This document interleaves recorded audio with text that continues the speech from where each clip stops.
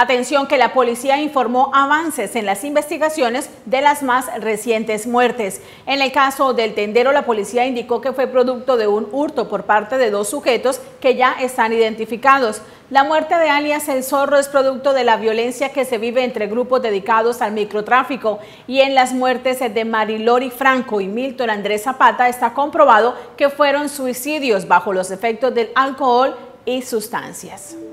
El mayor Carlos Ardila Pérez, comandante del segundo distrito de policía, entregó avances en las investigaciones de las más recientes muertes. En el caso de la muerte del tendero Oscar Alberto Ruiz, que tanto afectó a la población por tratarse de un hombre de 61 años, destacado como buen ciudadano, la policía indicó que ya tienen identificados dos responsables de este hecho, producto de un hurto. las últimas semanas se han presentado unos hechos de sangre lamentables en donde eh, Sabemos todos que existe un hecho que le ha dolido a todo el municipio y es el asesinato del señor eh, propietario de la tienda. Allí, frente a ese caso, hemos volcado todos los esfuerzos y le, le hemos dado prioridad en materia investigativa y de inteligencia para que se aporten los elementos materiales probatorios y poder judicializar a los dos responsables de este hecho. Ya tenemos plenamente identificados a estos dos sujetos y se está trabajando articuladamente con la Fiscalía General de la Nación para que se desarrolle eh, lo más pronto posible esta investigación y se le pueda mostrar a la comunidad eh, la captura y posterior medida de aseguramiento que les dictarían a estos dos sujetos que asesinaron a este comerciante. Eh, tenemos la hipótesis de que probablemente fue por hurtarlo y él opuso resistencia y allí en ese forcejeo se generó este homicidio. El mayor Ardila entregó detalles de la muerte ocurrida el pasado 23 de noviembre en el barrio Oasis, en el que un joven conocido con el alias del Zorro fue víctima de homicidio. El presunto culpable del hecho fue capturado y un juez de la República le dictó medida de aseguramiento. el pasado sábado en la noche, alrededor de las 8 de la noche, eh, en, en una zona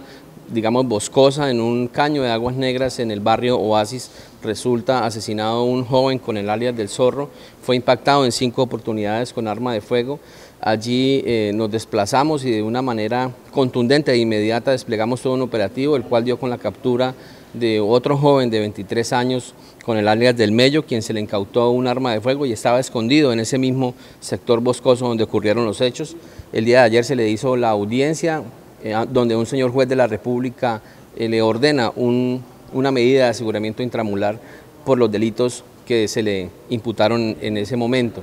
Eh, decirles que este muchacho, alias El Zorro, estaba plenamente identificado por la autoridad policial como integrante del grupo delincuencial Los Locales, estaba encargado de dinamizar el tema de expendio de estupefacientes, extorsiones y otros delitos que se presentan en el municipio. También tenía antecedentes por haber sido miembro de la organización delincuencial Los Rastrojos hace unos años en el municipio y por, por esos hechos en ese año eh, purgó una condena de alrededor de dos años y salió en libertad y continuó ejerciendo esa actividad criminal en el municipio. La muerte de Marilori Franco, ocurrida el pasado 17 de noviembre, y Milton Andrés Zapata Sosa, quien fue hallado muerto el 13 de noviembre, se debieron a suicidios cometidos bajo la intoxicación por alta ingesta de licor y de sustancias. Sí, eh, hay que aclarar estos dos hechos lamentables también, donde dos porteños pierden la vida. Eh, todos sabemos del joven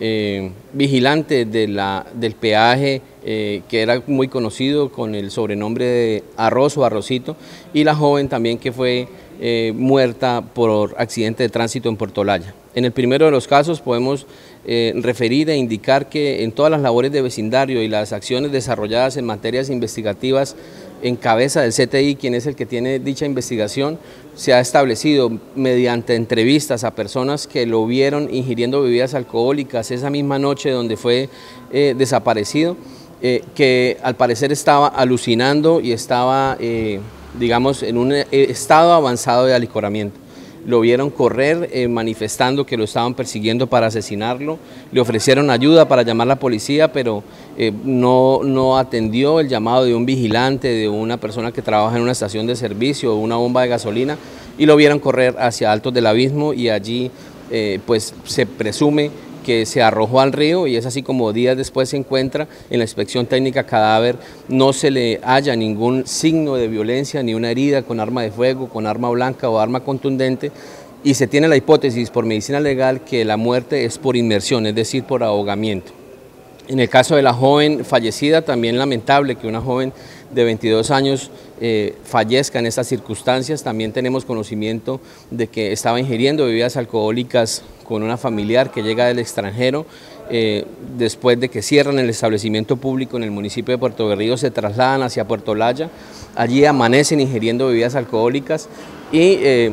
pues estaba deambulando casi que en vía pública y es allí donde se le arroja a un vehículo y fallece producto de este impacto con este vehículo en el accidente de tránsito. Hay elementos también probatorios, un video que está en poder del CTI de Cimitarra en donde demuestra que esta joven se le arroja a este vehículo y obviamente es producto de la ingesta de licor que se generó durante varias horas por parte de esta joven.